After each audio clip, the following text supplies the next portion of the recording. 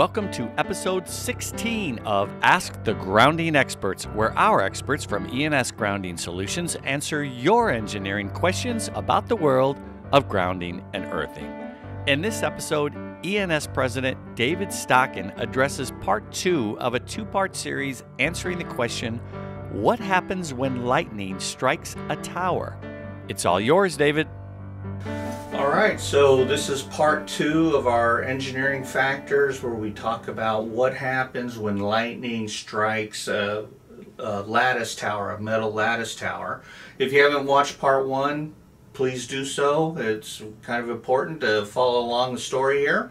But where we were last off is the lightning hit our tower, 100,000 amps. It's been bouncing around inside of our lattice tower we have these magnetic fields that are forming and they're collapsing. Uh, an event that took exactly fractions of a second to uh, enter into, you know, put that 100,000 amps into is taking at least 10 seconds, if not longer, to get out of our tower, just because of the time it takes leakage current.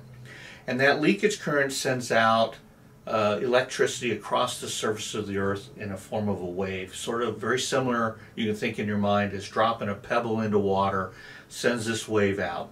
And these, this wave has differences in voltages. The further away you are from the tower, the less and less voltage you'll see. If your feet happen to be walking towards the tower, and your front foot is at one voltage, your back foot's at another voltage, this could cause enough to cause what we call step voltages, and it can actually kill you um, or hurt you significantly.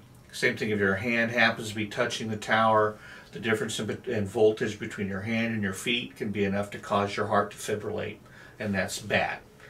Uh, so now to carry on with these different factors, one of the things that happens is our four tower footings that are in the ground form a, a, an electrode system. And that electrode system has a resistance to ground.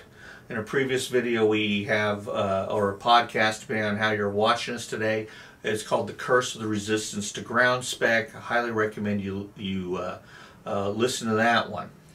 The resistance to ground overall deals with Ohm's law. You have 100,000 amps coming in. If your resistance to ground is 1 ohm, we're going to get 100,000 volts on that tower. If it's 10 ohms, we're going to get 10 times that. We're going to get, you know, a million volts on that tower is going to form. That's what the importance of the resistance to ground. Um, it's a very important spec. It's not the only spec. We also have differences in potential. So one tower leg may have a little bit more effective connection to the earth than the next leg.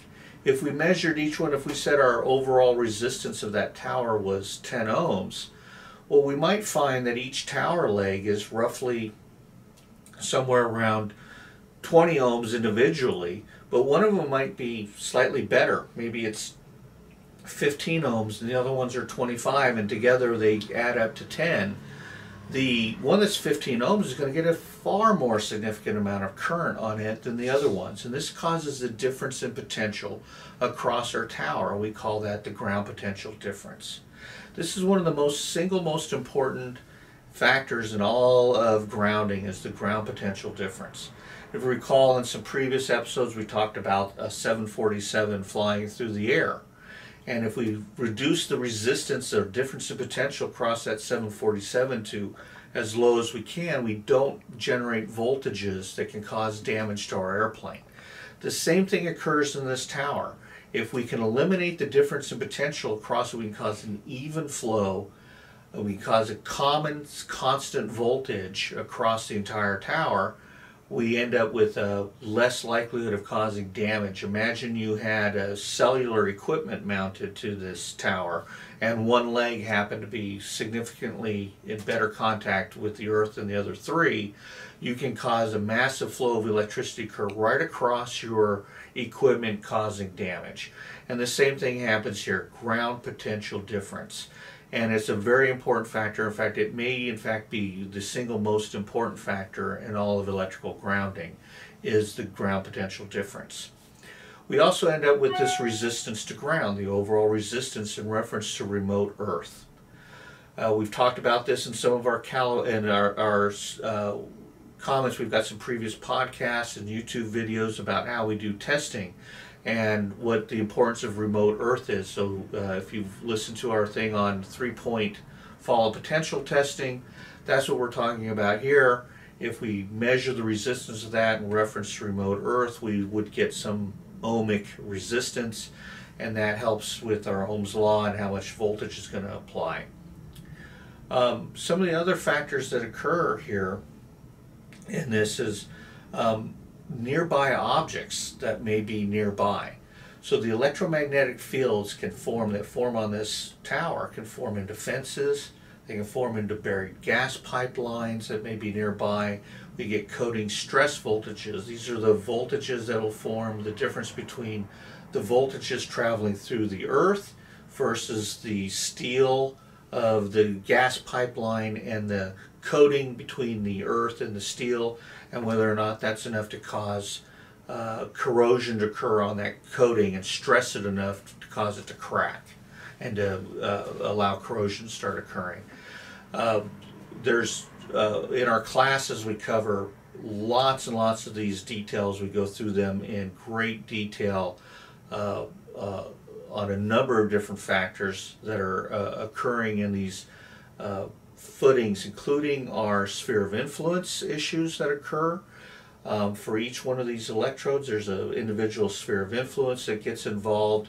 Um, I believe we talked about that in our uh, testing uh, videos and some of our previous podcasts. You may want to look at those as well. Now, how we solve some of these problems involves copper. And you can imagine if we place a copper ring around our tower, instead of four individual electrodes, we can effectively balance those into a common single electrode so we can reduce our difference in potential. If we run a copper wire up our tower, so we can eliminate the difference in potential from the top to the bottom of the tower, in, in essence a lightning protection system, we can help to reduce the magnetic fields that have to form because if you recall copper is diamagnetic. If we add a bunch of electrodes to our base of our tower, we can increase the leakage current rate of our tower. So lightning hits the tower, it comes down a copper path versus a steel path primarily. It's going to take both paths, but it will primarily take the copper path. Hits a ground loop, hits some dedicated grounding electrodes that are designed to handle leakage current. And instead of only handling 10,000 amps per second, we might be able to handle four or five times that. So instead of taking 10 seconds to eliminate that uh, electrical energy, we can do it in a couple of seconds instead. So we reduce that time it takes uh, to clear those faults, if you would, that a lightning strike, we can clear it. We also reduce uh, the magnetic uh, fields that form because we've placed a diamagnetic material in with the steel so the time it takes for those magnetic fields to collapse is dramatically reduced um, when they start to form and then recollapse back down uh, we can uh, collect that material, much those that energy, and dump it out down into the surrounding soil. If we have people that are happen to be touching our tower, that ground loop that's around it can help balance so that the difference in potential between the hand and feet are less, and we can reduce the touch voltages. If we place it in a, again a, with doing a little analysis, we actually help to reduce the step voltages by making sure that that current goes down ground rods deep into the earth and away from where personnel may be standing. And we can reduce both our touch and step voltages, again, by properly designing these ground loops and grounding electrodes in combination with the copper, we can help to reduce the effects of that lightning strike on personnel, on the equipment that may be mounted to this, and uh, uh, you know save some lives in the process. Uh, one of the other things that's important to note is uh, concrete is uh, contains water. And when water heats up, one cup of water will roughly turn into something like 1,700 cups of steam. Uh, if lightning comes down, hits your tower footing, causes steam to form because of the heat and can crack that concrete, not only allowing corrosion to get in there, but reducing the structural stability of that tower, which could cause it to collapse. A good grounding system helps to maintain the structural integrity of your foundations and supports. It can also reduce corrosion as well uh, but that's another uh, topic for uh, down the road. We'll maybe have a discussion about grounding and corrosion and how that works. Uh, so to wrap this up, uh, there are a number of different engineering factors that occur in any structure, whether we use a lattice tower today as your example, but it could be a building of any shape. They're going to they're going to act that building or structure is going to act like an antenna to that lightning strike and it's going to resonate around and you're going to get a number, a great number of engineering factors that are going to occur uh, inside of that. And it's very important to understand how those uh, grounding systems can help to eliminate hazards resulting in that. And it doesn't have to be a lightning strike. It can be an electrical fault from your transformer. Uh, they carry massive, massive amounts of current. Even your home can have very significant uh, uh, fault currents that can travel through it. Uh, when you start dealing with industrial sized transformers, you can have some very significant uh, hazardous currents that travel through, particularly when uh, your grounding system is going to be used as part of the fault current path. Uh, but that's a, a topic for another discussion down the road. So I hope you found this useful. Um, please, uh, uh, if you like uh, this topic of engineering factors and the, the, different phenomena that can occur, we have full classes for this. Um, they're hours and hours long with graphics and we walk you through it. It's a lot of fun. People really tend to enjoy it. Check out our website. Uh, we'll have classes coming up periodically uh, for that. Uh, if you're watching on YouTube, uh, make sure you uh, hit like and there's a subscribe in there too for subscribing to the channel. If you're listening to this on a podcast, please hit subscribe. Uh, leave us a comment, write us an email, give us a call. We'd love to hear back from you. Thanks a lot, everyone. Thanks so much for watching. If you found this episode helpful, please give us a quick like down below and subscribe to stay up to date on future educational videos we will be publishing.